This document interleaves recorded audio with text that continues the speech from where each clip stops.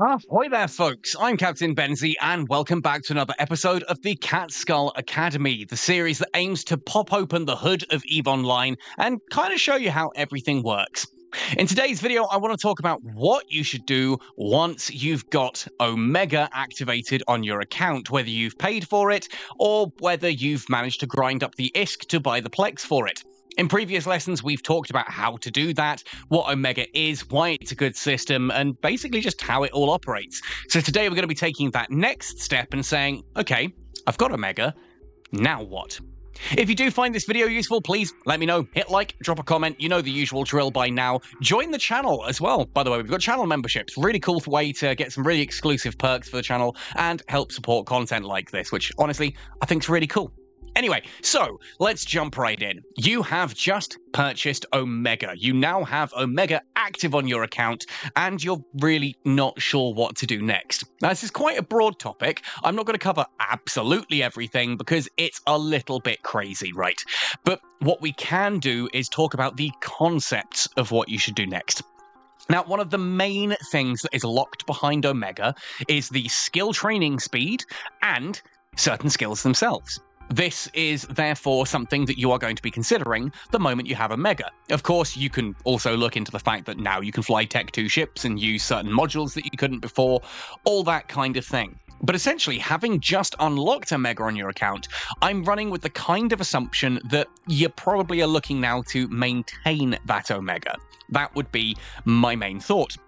Now, I've said before in other videos that just because you've got Omega once doesn't mean you should absolutely do everything in your power to make sure that you get it two months in a row. If you have saved up enough to get a month of Omega, you might not you know, if that's taken you two or three months to do, you might not be able to do that in one month before your Omega runs out, and that's fine.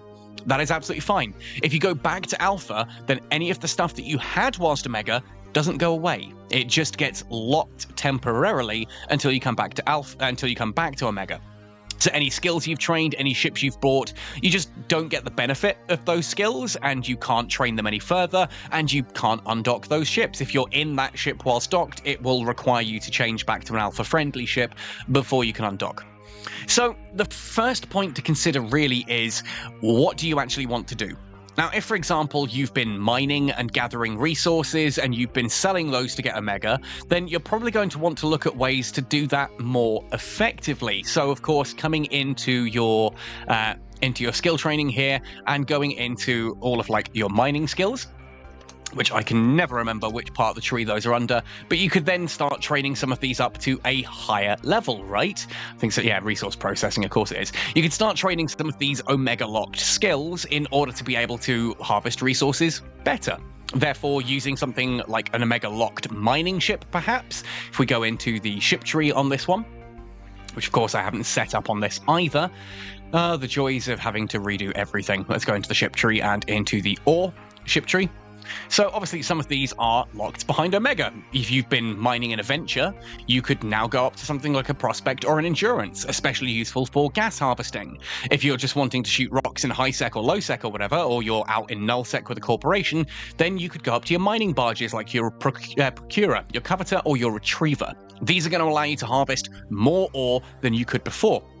So it might be the case that you want to train into those skills as quickly as possible to, in order to be able to fly those vessels effectively and harvest resources. Now, as always, when you are upgrading from one ship to another, make sure that it is actually beneficial to fly it first. Now, obviously, you are probably fairly skilled into a venture if this is the path you're taking. Yes, you could just go straight to a retriever, but if you're only mining barge one, the venture might actually harvest better than the retriever would. So get that trained up as quickly as possible to get out there and start strip mining some asteroids, and that might help you get Omega. If, on the other hand, you're a combat pilot, imagine you've been running missions in something like, say, a Hurricane or a Hurricane fleet issue. You could now look at going up to something like a Sleipnir, or if you've been using battleships, you could look into maybe training into a Marauder. It's a bit of a hard press at that time because of how long the Marauder skill takes to train, but certainly at like cruiser and battle cruiser level, you can start looking at the Tech 2 stuff. If you've been flying something like a Hurricane fleet issue, I would strongly recommend going into something like a Vagabond, or if you've been flying a Drake or a Drake Navy issue, you could could come into a Cerberus. This kind of thing. Look for a ship that uses skills that you have, plus a few other bits and pieces that are going to allow you to do higher tier content. This is especially true with things like abyssal dead spaces. Perhaps you've been running calm abyssals in a standard Tech 1 cruiser or a Navy issue cruiser, and you're now looking to go up to like your Tech 2, Tech 3 abyssals, that kind of thing. That's a path that you can take. Start skilling into a better ship that is going to allow you to earn more ISK just don't burn yourself out would be my biggest tip at this point. It, it is so tempting to sit there and go well i've got a month of Omega. I need to make the most of it. I need to log in for as many hours every single day as i can.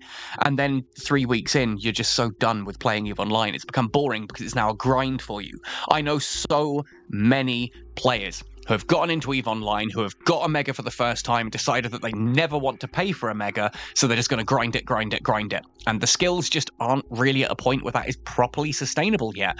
And so therefore they burn themselves out attempting to achieve that.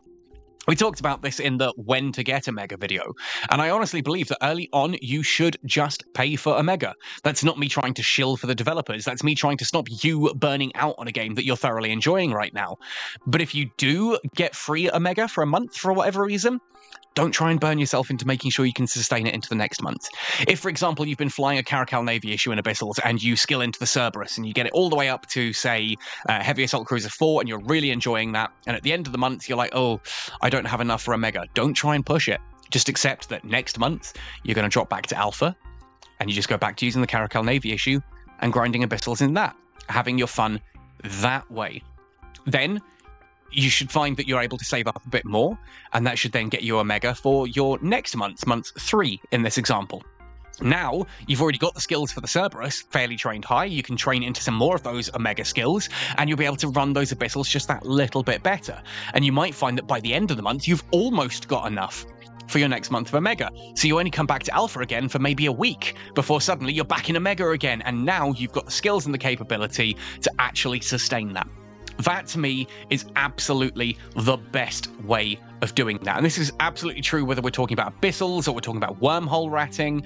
One of the first things I did when I went from alpha to uh, omega I'd been just using a probe and exploring wormholes and hacking relic and data sites. And about two months in, I had enough to basically get Omega.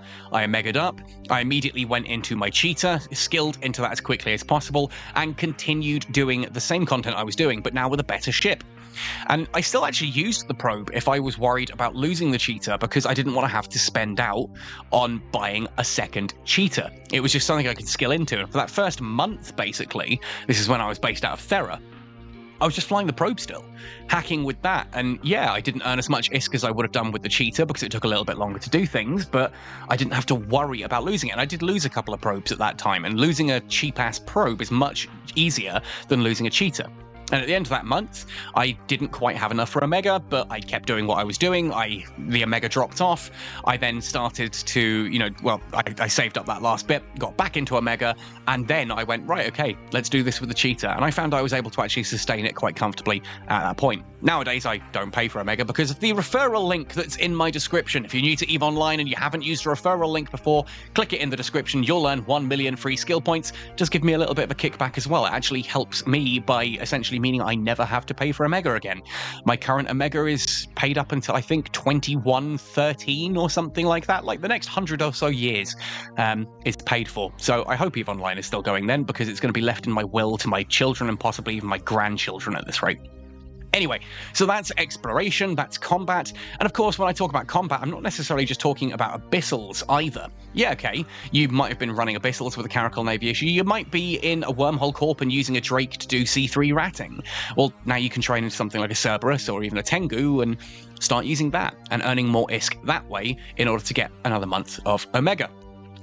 Now, one of the other questions that I'm asked an awful lot when it comes to this is oh, should I train into planetary production in order to get passive ISK income? I'm going to be completely honest. I have never enjoyed planetary industry. Um, I've talked to people, I've set it up, I've got a lot of people asking, will I ever do a video on it? The thing is, I don't really understand it well enough to properly showcase it in a video, and I don't really do it myself. This is my trading alt, hence the skills are logged. But even on my main, I don't really have planetology skills. I've got the basics that I use to set it up. I set it up and then I never even bothered to go and collect it. You can make good money on it. If you are industry minded, I would argue that planetary resources are less about a passive income and more about helping you build the things that you want to build without having to buy those things on market. I think you have to be really good at PI and you have to be kind of religious about going and collecting it and then dropping it off at market for it to really be worth it. And if that's something you're interested in, you know, don't let me dissuade you from it just because it's not my playstyle. Yeah, it absolutely could be yours. I think if you are willing to engage with that system, if you're willing to drop a, you know, across to some of the other YouTubers here who have showcased how to do planetary industry, then absolutely, it's passive income. It is. You just kind of set it up and you just go collect it and you refresh it when you need to. That's it. It's very, very straightforward once it's up and running. Um, and so it is additional ISK. I personally believe that if you are not an industrialist by nature, if industry is not your main thing, like if you're an explorer, a PvPer, or a PvEer, skill into those. You're going to enjoy it more and you're going to get more benefit out of that with your time with Omega, and that's going to help you sustain it that way. Planetary, I think, works really well if you're more industry minded. If you're the kind of person who goes out shooting rocks and huffing gas as your main income and then building stuff and selling that on the market as your main income, planetary industry is just a secondary income on the side that's nice. It's not huge amounts of ISK, it's not small amounts, but it's not huge. Um, I just think it's useful if you are industrial minded, but if you're a combat pilot, stick with your combat skills. Anyway, on that bombshell right there, that is everything I wanted to talk about in today's video. I'm sure I've missed some stuff out. So if you're watching this thinking, oh, Benzie, you didn't mention this or you didn't mention that, what about this? What about that? Drop it in the comment section down below. I love chatting with you guys. And if I can help you out in any way at all, I will absolutely do so. I love doing that. It's one of the reasons I do suggest channel memberships for people who really want to engage with the community because it gives you priority replies. It flags those replies to me directly and says, hey, this person's commented. Make sure you respond to them. And on that note of community building as well, do stay tuned. I'm going to be starting streaming soon. I know I've been talking about this for a while, but I sat down with a friend of mine in real life. I've now got the streaming setup actually done. I've run a couple of private test streams. It's now working. So if that sounds like your thing, make sure you subscribe to the channel. The notification bell is dinged and all notifications has been set. That way, you won't miss out. Keep an eye on that community tab for further updates and join my Discord just to make sure you are well informed as to everything that's going on. Otherwise, let me know how you get on with this one. Let me know what you think, folks. Happy sailing, and see you in New Eden.